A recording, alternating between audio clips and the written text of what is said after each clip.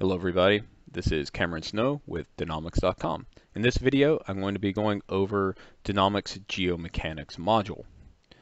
Uh, if you uh, haven't looked at the Geomechanics module recently, um, you may notice a few changes. We have recently split out the pore pressure from this module and that was to help you focus on evaluating pore pressure in one step and then geomechanics and reservoir continuity in a separate step.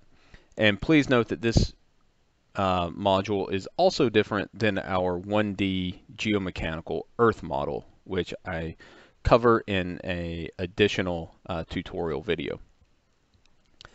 So with, with this module, uh, the primary um, outputs that, that I want you to take away from it are a review of the Young's modulus, the bulk modulus, and the shear modulus, uh, as well as an understanding of uh, how brittleness is calculated, and how that uh, may translate into what it is you may be able to complete in your well bore if you were to drill a horizontal well.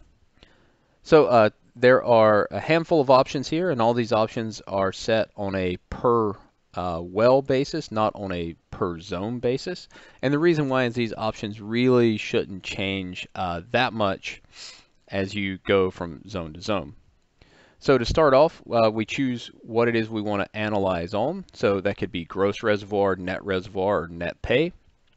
Uh, in most cases, I recommend analyzing on net reservoir as uh, that seems to intuitively make more sense because your your frac may connect up more than just uh, you know your net pay. It will also connect up uh, reservoir intervals that may flow uh, water as well. So that's why we like to to set net reservoir as our default. In terms of the brittleness method, uh, we have three options here. We have what we call the Danomics Simpleton method, Jarvie et al., and Wang and Gale. The Danomics Simpleton method is based on our V-Clay, uh, whereas the Jarvie et al. method uh, calculates brittleness based on the uh, quartz fraction, and the Wang and Gale method include uh, dolomite into that evaluation as well. So um, when you're when you're doing that, you will of course need to to determine your mineralogy. There's uh, essentially two ways you can do this. First of all, you can do it via the inversion. Um, so go to the mineral inversion um, module, uh, set up your mineralogy, and then uh, you know run that calculation. Or you can use Rhomaa-Umaa crossplot. The caveat on that is that of course you need to then have a PE curve and if you're working across large areas a lot of times you, you do not have a PE curve available to you. So I tend to use the Simpleton method and I tend to use uh, inversion as the default as the default for our uh, brittleness mineralogy. Okay, and so, so that will get you through the calculation of your brittleness, which is shown here in, in this curve. And what, what we try to do for you is we try to highlight uh, where you um, where your brittleness is less than a certain threshold. So here in this uh, non-organic shell, uh, you know, we, we have relatively high V clays, around 35 to 50 percent. Uh, so you know, our brittleness is a bit lower here uh, quite brittle in the Austin chalk and then down in the Eagleford section here and this is a fairly high clay portion of the Eagleford. Um, you know once again we see our brittlenesses are substantially lower. Okay and then this is uh, you know backed up by our uh, modulus data where we see um, lower moduli in, across the shell intervals and relatively uh, higher moduli uh, here in the Austin chalk. And uh, also on the Poisson's ratio, you know, we see uh, higher Poisson's ratios here in our plastic interval and lower Poisson's ratios here in the Austin chalk. So um, that, that all works out uh, the way we would expect it to um, and really ties well to the brittleness. Now, in terms of the second half of the analysis uh, in here, you know, what what we want to focus on is really highlighting what packages may be connected. So first of all, we need to define what a frac barrier is. Uh, we can define this in a number of ways. Um, for example, I could say at brittleness uh, less than or equal to 0.5. Uh, that's my default. I could also, you know, let's say I wanted to base that on something like Poisson's ratio. So I could say Poisson's uh, at Poisson's underscore ratio, and let's say greater than um, 0.2.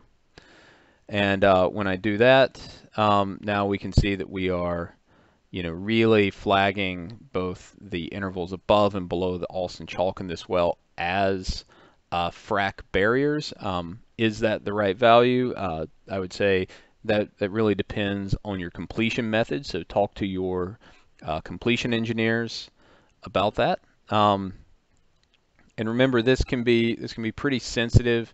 Uh, so just you know, make sure to evaluate um, the sensitivity on this by varying these cutoffs. So I'm just going to leave that uh, for now. I think that that'll do a good job of, of highlighting what we want to look at. I'm actually going to set that back to 0.2 because that puts a few uh, potential frac barriers within our Austin chalk. So I'm just going to zoom in here. And here's what we, we, we now have three options. We have minimum thickness, uh, maximum discontinuity, and maximum frac barrier.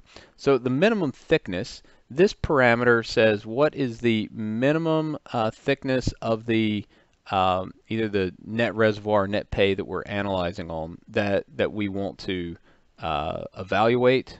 The maximum discontinuity is that if something is non-reservoir, what is the maximum non-reservoir that we will include to still have it uh, flagged here in this light green color? And then the frac barrier, uh, you know, what's the maximum frac barrier that we think we may be able to complete a well through? And so let's take a look at, at how changing these affect our, affects our results. So first of all, if we were to go with a, a significantly lower value for, for each of these, so if we, if we look at this, now what we see is things become uh, much more homogeneous. And, and what we see is that, you know, we uh, we have more of these stringers, but because we've set our discontinuity very low, it's uh, it's saying that hey, these packages are all quite separate. Um, if we say that we want to look at only thicker intervals, we'll notice that some of these thin stringers disappear. So it really helps you focus your eye on uh, on the thicker intervals that are available within your zone of interest. So you know maybe you would say looking at this that you would want to land a well either here in the deeper portion of the Austin chalk or here right at the top of the Austin chalk where we seem to have a higher concentration of uh, net reservoir. So if you if you think that after consulting with your completions engineer that you can complete through a lot of uh, non-reservoir uh, quality rock in this case, and, and remember, this is non-reservoir quality rock that's also not really a frac barrier. You know, maybe it's a bit low porosity relative to our cutoff. Um, so let's say we felt like we could frac through, you know, a, a higher amount of that. So, you know, we change this. Now what we see is it, it starts to fill in our flags here for us. And so, you know, once again, now our eye is really being drawn to this lower package, but we also have some, some packages uh, here in the middle that start to become uh, more interesting. And of course, the higher you put that number, the more continuity that you're going to start to see. Now, we do have uh, some frac barriers uh, in here, and right now we have our frac barrier tolerance set very low, so, so down to one foot.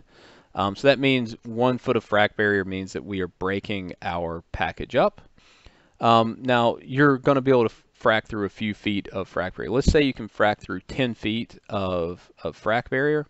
When you do that now, you can see that, that this all becomes one continuous interval uh, that your completion might reach. Um, and of course, you know, the higher you put that number and the higher you put your uh, discontinuity, the more that it will allow you to fill in this package. Uh, almost essentially to the point where you would then say the entire Austin chalk will behave as a single package if completed. Um, so, you know, uh, so that is how that analysis works. Um, but still, for the purposes of really understanding where to land this well, that's why we have the color coding on here where you're where the the reservoir, the net pay that you are concentrated here is shown on the dark green. And so you can see there's a much higher concentration of better quality rock here in the lower half of the Austin Chalk in this well. And so that is probably where you would want to uh, mark your landing zone uh, based on this type of analysis. Okay, I uh, hope this was useful to you. Um, if you have any questions or if anything is unclear, as always, you can contact us at support at. Thank you.